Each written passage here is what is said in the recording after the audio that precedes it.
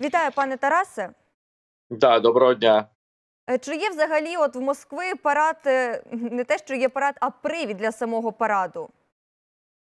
Ні, ну привід є. е, 9 травня для них такий е, скрепоутворюючий міф е, е, імперії діючої, і тому, звичайно, що привід у них є.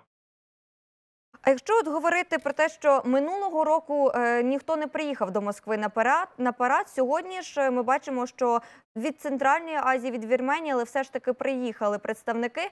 Е, Що змінилося? Чому все ж таки, так би мовити, риторика пішла не в ту сторону? Ну, допомогли інші країни. Я упевнений, що Середня Азія приїхала через тиск Китаю, а Вірменія приїхала на велике прохання Ірану. Е, Тому що сам Пісков, е, пам'ятаєте, ще десь два чи тиждень тому говорив, що буде тільки президент е, Киргизстану. А тут раптом в останній момент з'явилися всі, і за дивним збігом обставин там, де мають вплив саме ці країни. Лукашенко теж має власну лінію впливу, точніше, Китай має власну лінію в Білорусі, тому вони всі приїхали. Упевнений, що це тиск був в Китаї в першу чергу, тому що Росія, звичайно, нікого зібрати не могла.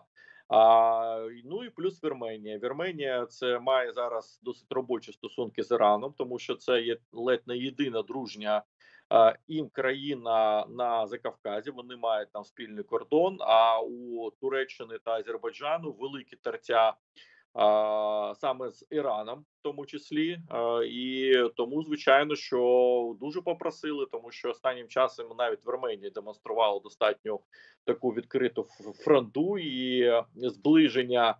е, З американцями та іншими країнами більш того, зараз Вірменія знаходиться на ну в декількох кроках для того, щоб підписати нарешті мирний договір з Азербайджаном, щоб зафіксувати кордони офіційно визнані цими е, всім світом.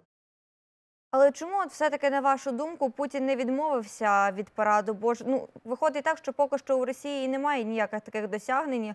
У Запоріжжі здійснюється евакуація на якихось е, прикордонних е, з України областях, саме в Росії, як е, не поїзда сходять з рейок, то вибухи на нафтобазах. Так само, якщо дивитися на нічні атаки, то й вони не приносять е, таких якихось вагомих терористичних наслідків. Е, Чому все-таки відбувається парад? А, ну тому що вони не мо не могли не провести парад, тому що це зовсім була б ганьба.